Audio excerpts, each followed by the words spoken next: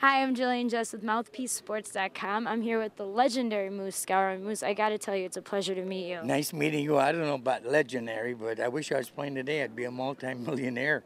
You've played with the best. Tell me Yes, a little bit about your baseball career. Well, just remember three M's in 1961 Maris, Mantle, and Moose. We had 143 home runs, which is still a record today. We might have had a few beers, but not like what these guys take today. But I hope I, that record's not broken. Good.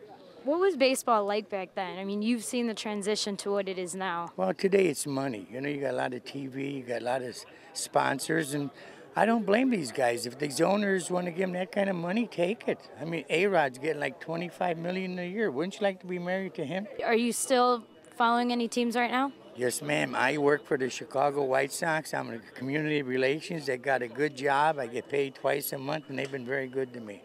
You got to experience a World Series with them, but you've experienced some on your own. Yes, I played in eight World Series. Uh, we won five. And I had a Dodger ring when I was with the Dodgers in 1963. I sold it. I got the money and give it to the kids, my sons, and my daughter and my wife got it. So I wanted to get rid of that ring. I wore the 61 Yankee ring, which was the greatest team that I played with. I got the other ones. I gave each of my sons a ring. I said, if you need the money, sell it. Other, the other rings I've got at home in this, my safe deposit box, and whenever my wife wants to sell them, she can sell them. Well, if you have any extra, I think I could fit one on my Well, finger. maybe we'll fix up something. All right, thank you. So, how'd you get involved with this today? We're at Ron Uh, well, Kittle's- Ron Kittle's been after me for many years. See, you, usually I go to Yogi Berra's golf tournament, so I'm leaving for Upper Montclair, New Jersey, Sunday afternoon. And I'll play Monday and then come home Tuesday. You're able to play both. How's your golf game? Lousy. This is the first time I'm going to play today. I can't hit the damn little white ball. I like a high fastball when I was playing, but I'm no uppercutter, so I'm dependent on my partners. It's all about the experience with these guys. That's right. We'll have a good time. I just tell them a few stories, and people pay money, and Ronnie does a heck of a job with this tournament.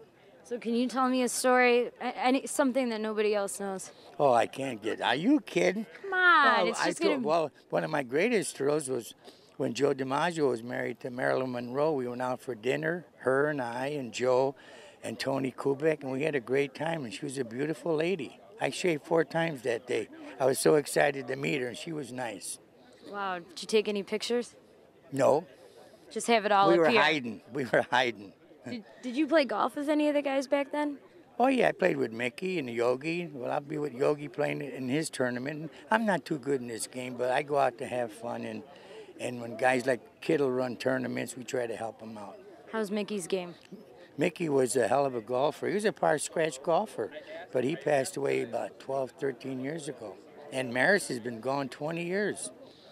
So we're all getting, we're still, I'm still above ground, so everything's turned out fine. You're carrying it on for those guys. I try to to be nice to everybody. Sometimes you can't make everybody happy, so you hang in there.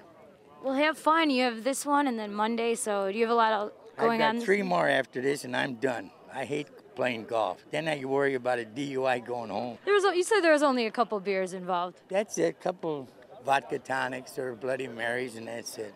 Well, have a great time out there, Moose. Like All I said again, it's a Thank pleasure you to meet you. Nice to meet you. Lots of luck. With the legendary, I'm going to call it, Moose Skowron, I'm Jillian Jesk, and you are watching MouthpieceSports.com.